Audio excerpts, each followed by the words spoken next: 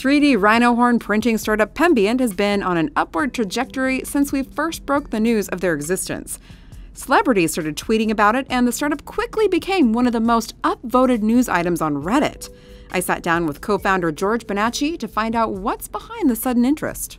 George, I've talked to you guys before about making 3D printing rhino horn, genetically similar rhino horn. Yes. But what are we looking at here? We're looking, yeah, tell me what we're looking at here. So these are some of our newer prototypes. Uh-huh. So we're making them at different densities and different colors so they match the different species of rhinos. Okay. And also rhinos in different environments. And to be clear, none of these actually came from a rhino. No, these are completely lab made. Yeah, but they, if you tested them genetically, they would look exactly like a rhino horn. Absolutely, genetically, spectrographically, all physical properties. So these are effectively real horns, they're Mm-hmm. just not wild horns. Uh, you're also what, like number, you're number one on Reddit. What did you think, do you think contributed to that? I don't know what flipped that switch where we got popular, but I got a text that day saying you're number one on Reddit, and I said, what subreddit? And they said all of them.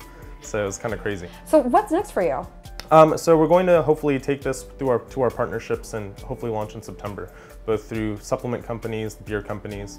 Um, so really just bring it to market. I mean, you could really take off in China. Yes, that's our goal. That's our goal. China and Vietnam are definitely our number one and two markets. How long have you been with IndieBio?